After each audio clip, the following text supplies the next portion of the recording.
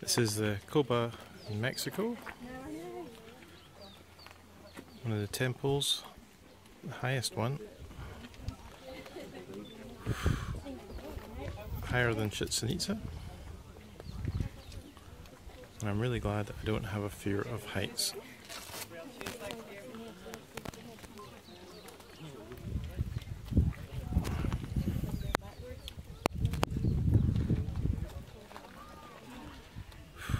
You work up a good sweat coming up there.